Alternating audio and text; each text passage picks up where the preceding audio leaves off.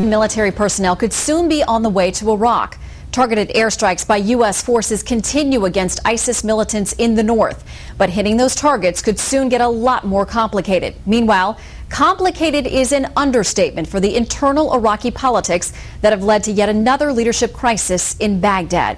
We have Fox team coverage tonight. Greg Palkot in Erbil, Iraq, with a country under new management waiting for old management to leave.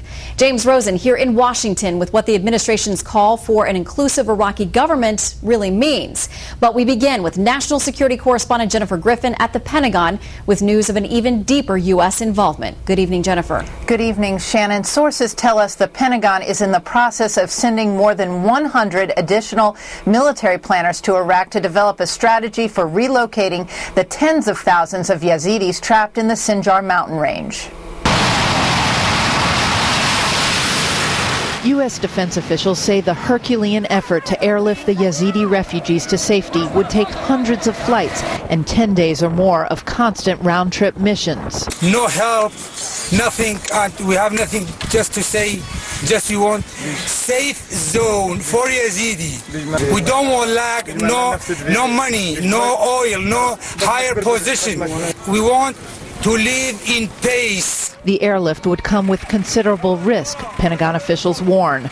Earlier today, an Iraqi rescue helicopter crashed carrying veteran New York Times correspondent Alissa Rubin and two photographers.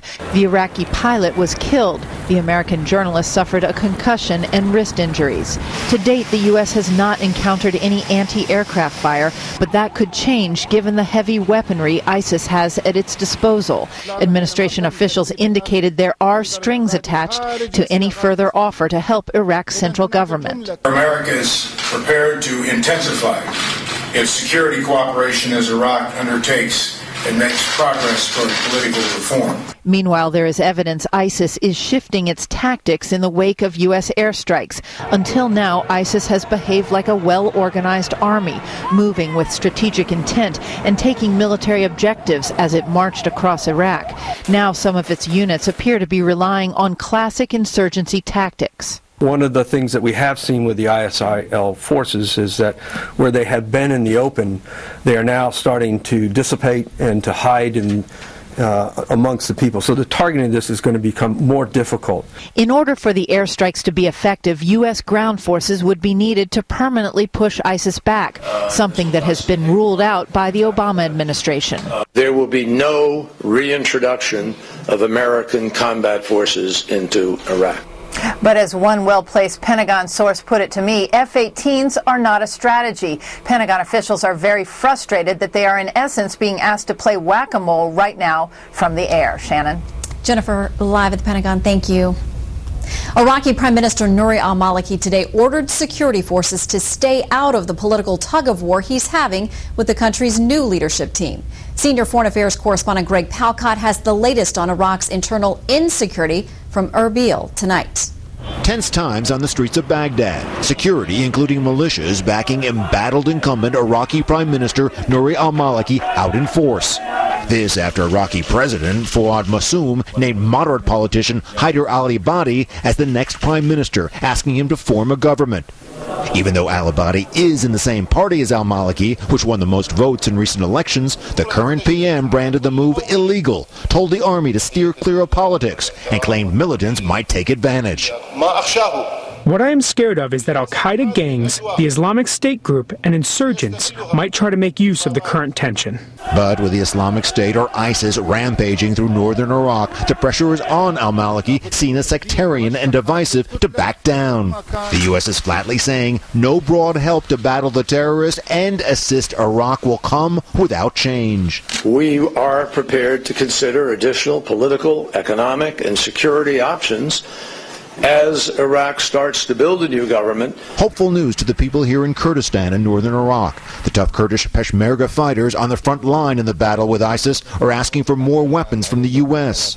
And refugees, including Christians who've been told to convert to Islam or die, are being sheltered in the Kurdish city of Erbil. They are looking for aid and security. Sentiments echoed back in Baghdad, which has seen its own rising toll of terror attacks. We hope that the new prime minister will provide us with security and stability and all humanitarian necessities. Vice President Biden also hopping on the bandwagon yesterday. The White House saying that Biden called Iraqi President Fawad Massoum and the Prime Minister designate Haider al-Abadi to set, tell that, them that the U.S. supports an inclusive government in Iraq, especially as it fights the Islamic State militants. Shannon. We'll talk with the panel more about that. Greg, thank you. The U.S. and much of the West. Tonight, Chief Washington correspondent James Rosen looks at what President Obama and others want to see out of Baghdad. We continue to call on Iraqis to come together and form the inclusive government. Uh, inclusive government. They need a, an inclusive government in place as soon as possible. There's we hear it every day, like a mantra. But what does this demand for inclusiveness in the Iraqi government actually mean? And how and when did Iraqi Prime Minister Nouri al-Maliki fail to embrace it, to the point where the Obama administration worked stealthily to replace him, despite the plurality that Maliki and his party won in Iraq's parliamentary elections just four months ago? A few hours ago, I spoke with Iraqi Prime Minister Maliki. It was really after President Obama announced the withdrawal of the last U.S. forces from Iraq in 2011 that the Shiite prime minister, long suspected of sectarianism, took actions that sharply divided the Iraqi government. He issued an arrest warrant for Iraq's Sunni vice president and moved to purge the Iraqi army down to the brigade level of Sunni officers and replace them with Shiites. Those were key signals that he was looking uh, at Iraq through eyes that were predominantly sectarian.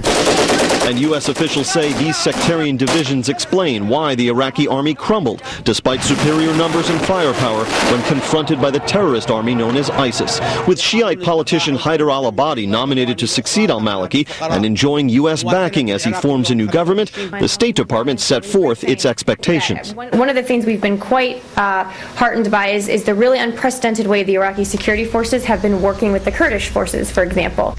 And the Kurds represent still another challenge for the Obama administration, whose top diplomats have had to make the case in Kurdistan as to why now, Shannon, is not the right time to pursue statehood.